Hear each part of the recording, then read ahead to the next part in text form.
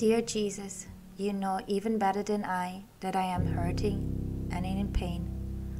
Sometimes I feel so lost that I have trouble believing I will ever find my way out of this sadness. I don't know what to do.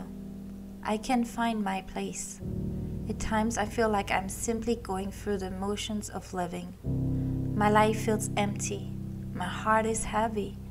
I feel abandoned and alone. I have been told that you and your mother are always close to me, especially during times like these, the most painful and difficult moments in my life. Help me to know this truth for myself. Reach out to me and take me by the hand.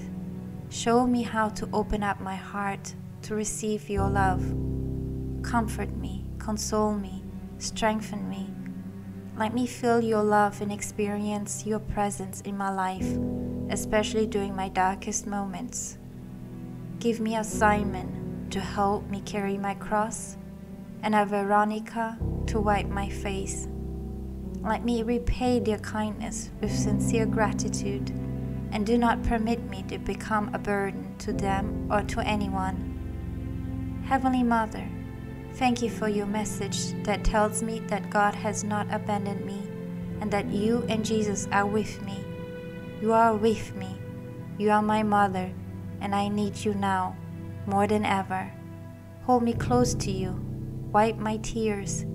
Fill me with hope. God of mercy, home my unbelief and strengthen my faith. If it be your holy will, give me a tangible sign of your presence and the ability to recognize that sign when it comes. Grant me the grace to accept my loss and the courage to move forward in my life.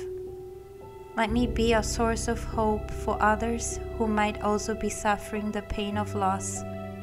May they recognize Jesus and Mary in me and open up their own hearts to receive your love. For you are the God of all goodness. You are the God of love. In Jesus' name, amen.